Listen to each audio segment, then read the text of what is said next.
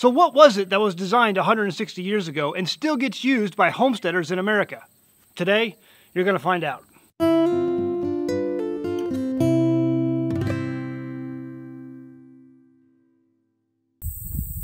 You know, growing up as a kid, there was one thing I really wanted.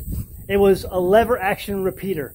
You know, the ones used in the movies by John Wayne in movies like True Grit or Sons of Katie Elder. In fact, Sons of Katie Elder was one of my most favorite movies as a kid growing up.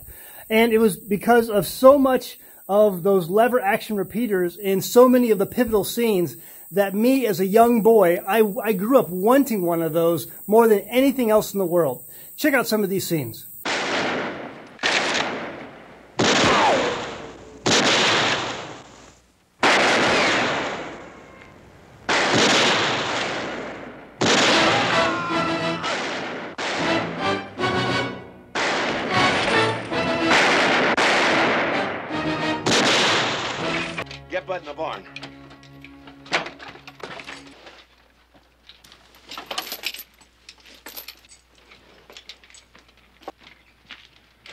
Kid. We're gonna need a doctor. Go get Doc Isdell.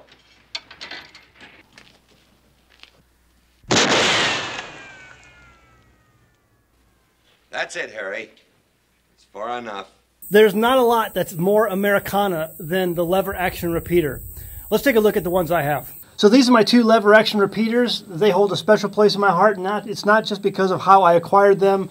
Um, it was also because of the history behind them. Again, there's no other part of Americana that you can own uh, than these right here that just have so much history behind them and things you know that these types of repeaters were involved in when it came to shaping how our country was uh, was founded and just uh, the turmoil that existed in the founding of this country and how the West was settled. Just so much history in these firearms. So um, what I want to talk about first is both of them. Uh, there's a Marlin. The, the one on the bottom is a Marlin. The one on top is a Henry. And I know some of you, uh, and I was the same way, was you know, when it comes to a lever action repeater, it's got to be about Winchester, Winchester, Winchester. Well, I'm here to tell you that all repeating lever actions are, in fact, Henrys. They're not Winchesters. Uh, it was Benjamin Henry, uh, the namesake of that one right there, who invented the lever action repeater. He is the one who came up with it. He took a design um, that was uh, formerly in a pistol and then reworked it into this lever action repeater. And that's what became famous. It was known as the Henry uh, repeater, and that Henry repeater, the patent for that, he created the patent, and then it was sold to Winchester.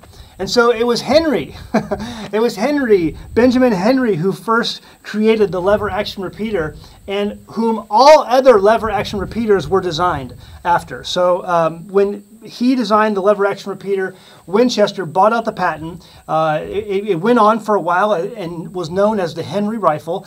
And then uh, uh, by 1883, eight, I'm sorry, 1873, I believe, then all of the other lever actions became known as Winchesters because Winchester changed the name of the company, he changed the name of the repeater, and now you have everything being called Winchester. And so uh, the Henry became known as the Yellow Boy because the Native Americans nicknamed it that. They loved the brass receiver that you see there and the brass parts that were on it. And so they named it Yellow Boy, and the Yellow Boy uh, name just stuck with the Henry rifle. And then, uh, you know, about a decade or so later, uh, the golden uh, brass uh, receiver was changed to uh, more of a steel looking receiver. Uh, but it became known as the Yellow Boy. In fact, if you didn't know, uh, the reason uh, the Sioux Indians won that battle at Little Bighorn against George General George Custer was because the, it was the Sioux Indians that were armed with the Henry rifles, and uh, the, the, the Custer's men, the U.S. Army men, were actually only armed with single action uh, Springfields uh, I'm sorry, single shot Springfields. And so it was basically the, the, the Sioux outnumbered, outgunned uh, George Custer's men, and that was a big uh, uh, big event for uh, just how effective effective these lever action repeaters could be. And so, anyway, this became the top thing that I wanted as a kid growing up. I wanted a lever action repeater because I saw them in movies. John Wayne, so many other places, are so many other actors in movies uh, showcase these these these uh, these rifles, and so I wanted one. And so, I guess uh, sometime shortly after I was married, I uh, was going through a shop and I saw this on the rack and it was chambered in the exact chambering that I wanted, and it was a trapper. You'll notice that these are more short than some of the other ones that you other models that you'll see on the market. I wanted the trapper version. I wanted the short version. Number one, because I like to trap. Um, and it was just something that I, I, thought related better to me because I, like I enjoyed trapping when it came to beavers and raccoons, things like that. And so I wanted the trapper version, and so that's what I got. I got the trapper version in 357 and 38 special. And so that was the first one I picked up, and uh, I've, I've, treasured it ever since. And then uh, a number of years ago, um, a friend of ours passed away, and uh, his wife uh, wanted to get rid of his firearms. And so she contacted me and asked if I would want any of these.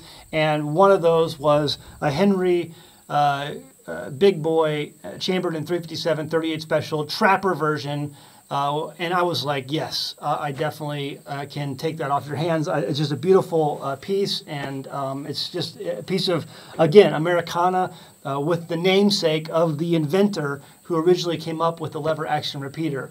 And so that was something I really wanted to add to my collection. Uh, it was first offered to a friend of a friend of mine, and he decided he just didn't want it. He, could, he couldn't couldn't uh, uh, pick it up fast enough because he was living in another state. And so I was like, okay, I'll take it. And uh, so now it, it's part of my collection. Uh, the Henry, this is made. Both of these are made in the USA. Okay.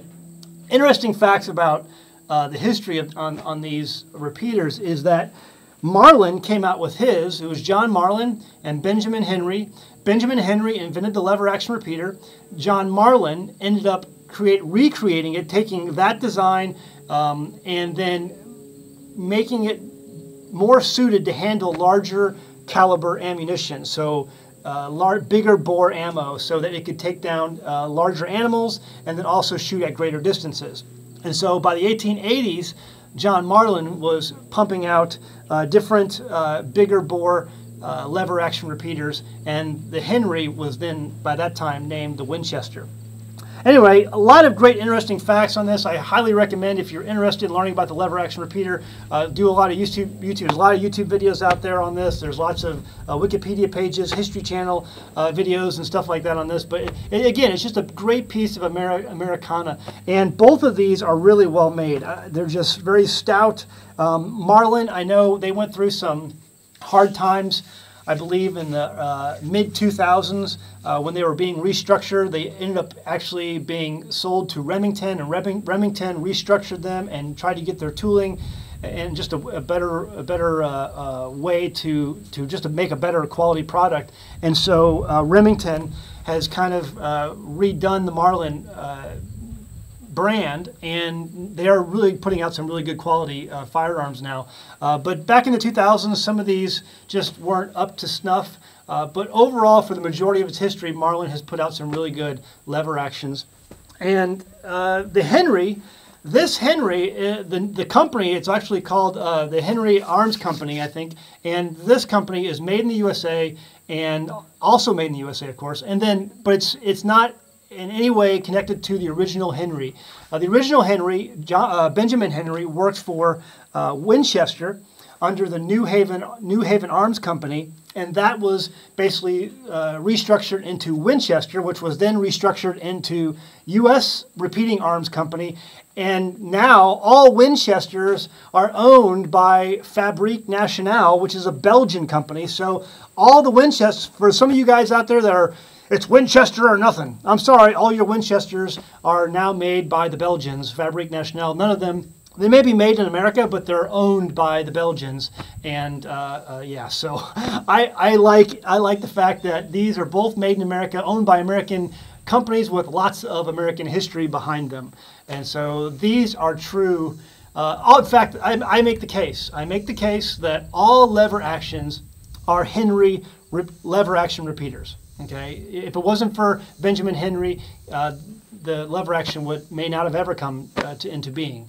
Uh, but this was something uh, that was created here in America, and so many Americans today are using this um, still today. So just to be totally upfront, this Marlin uh, lever action repeater is the grocery getter for my family. This actually has uh, brought home more venison than anything else that I own. Um, and so every year, I, I usually I have a 308 that I, I, use often for for hunting, but this is something I can easily pick up. Um, you know, throw it in the back of the truck. I don't have to worry about the scope getting knocked off. Whatever. I use the iron sights, and um, I can usually I, a lot of times I'll pick it up in rainstorms because then I can stalk on deer, and they don't even hear me coming. Uh, but it's great out in rainstorms as long as you take it home and then you oil it really well. And so it's seen a lot of wear and tear. It's been in the brush. Uh, these are often called brush guns for a reason because they are they perform in the brush, and people count on them to perform in the brush. And so that's what I've used it for. I've used it for oftentimes, and I like the I like the fact that it's a short barrel trapper version. It's really easy to carry. It's pretty lightweight, and um, it's very effective at taking deer. But then why 357s? Why do I choose 357? Well, historically, actually, if you didn't know, uh, Frank and Jesse James often preferred um, uh, Winchester uh, lever action repeaters. And the reason they preferred uh, the lever action repeater was because they could get one in a chamber, the same chambering that they could get for their, for their pistols or revolvers, their single action revolvers. And so Frank James of Jesse and J- Jesse James, uh, he stated often that the reason he chose that was because he wanted to have interchangeability with ammunition between the two platforms, pistol and rifle being able to share the same ammo. And I think that's really smart. It's really it's a really smart idea because if you have ammo that can interchange between both a rifle and a pistol, I mean, you've heard that old saying, right? A pistol is only for shooting your way to your rifle that you should have had with you in the first place. I love that saying because it's so true. A rifle is way more effective. And so your pistol is for shooting your way to your rifle that you should have had with you in the first place. And if the if the ammo is interchangeable, all the better. So Frank James was made famous uh, for saying that. and I think it definitely holds true. I have no idea why some of these people chamber in some of these weird calibers like 300 Blackout or 6.5 Grendel or it's like what what are you doing? Where are you ever going to find that ammo if you really need it? And you know things are hard to come by. You're never going to find that ammo, and you've just rendered whatever tool that you have useless. So I, I don't get that at all. But uh, that that's wisdom even though he was a bank robber, Frank and Jesse James uh, knew what they were doing on that on that on that account. But Zach, but Zach, don't you think 357 is just too small of a round for bringing home the venison? Actually, not, because a 357 pistol round has a completely different velocity than a 357 coming out of a rifle. You have about a 40 to 50% increase in velocity coming out of a rifle, this Winchester, I'm sorry, the Henry repeater, lever action repeater, than you will coming out of a pistol. So it's a faster moving bullet coming out of a rifle. Why? Because that gas that's burning inside the barrel has, a, has more time to build up pressure, which pushes the bullet faster. And so you're going to have more velocity that way. And so it makes it a, it makes it a perfect uh, deer uh, harvester at that point. And I've never, I've never, I mean, every deer that I've ever hit with one of these has gone down. I've never lost a deer by hitting it with 357. In fact, uh, my target of choice on a deer is its neck and usually upon impact, the impact that 357 bullet will go ahead and, and break the neck of that deer and you will, um, you'll have the deer. He'll be laying right there where you hit him. So it, it basically instantly breaks the neck and he doesn't even know what hit him. He just lights out. And so down he goes. And so a 357 is just perfect for, uh, for bringing home the venison if that's what you want to use it for. So with all that said, I think it's time we go ahead and... Do you smell that? I smell it. Smells like corn syrup. It's that time of year again. They're starting to move. We got to do something about that. But before we get to the range, we need to talk about something else.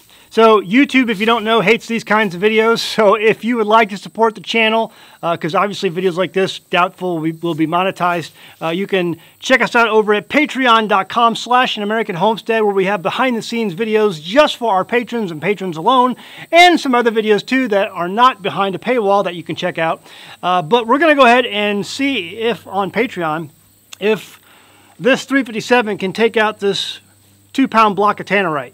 Two pound block of tannerite. Now they would suggest that 2,000 square, I'm sorry, 2,000 feet per minute is what is the minimum requirement for taking out tannerite. I believe it's 2,000 feet per minute, 2,000 FPS. But from what I understand, the bullet leaving this barrel, because of the increased velocity, is just at about 1,900 feet per second. Okay? Now, So if that's the case, is it going to blow it or not? Well, you won't know unless you join Patreon. So for just a dollar a month or even $5 or $10 a month, you can come over to Patreon, support the channel because places like YouTube don't. And you can feel good about the fact that you're making these, these videos possible. So go ahead, check us out, patreon.com slash American Homestead, and you can watch the video to see whether or not this 357 round will blow this two pound canister of tannerite. All right, guys, let's go get some corn syrup.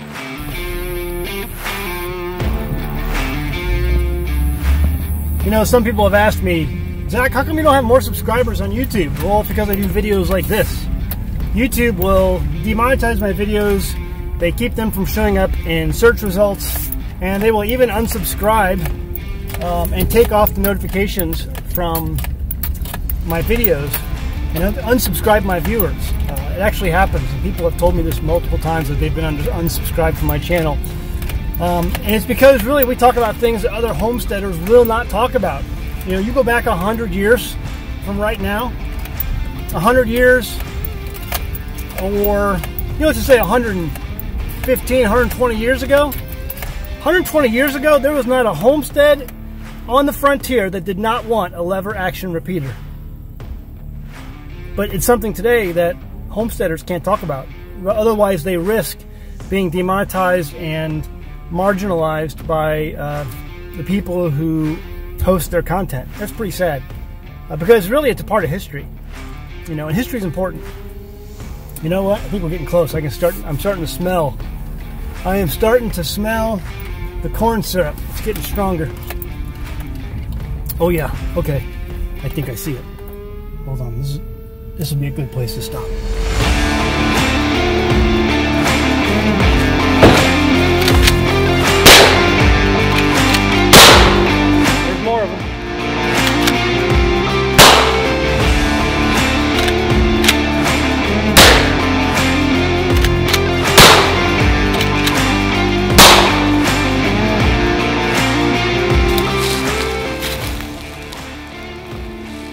I think he's dead.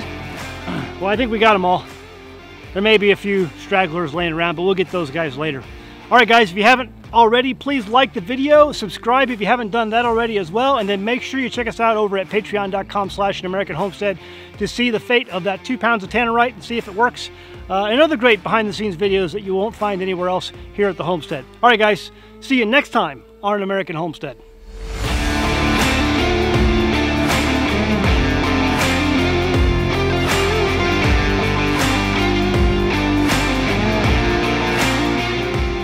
Hey, hey there, thanks for watching our channel. If you're looking for great off-grid homesteading videos, this is the channel for you. Hit that subscribe button and be sure to like the video you just watched. You can also feel free to send us your questions by going to anamericanhomestead.com on our contact page and send me your question. Your question might get made into a video. In the meantime, check out some of these other great videos. Oh wait, go ahead and click them. Go ahead.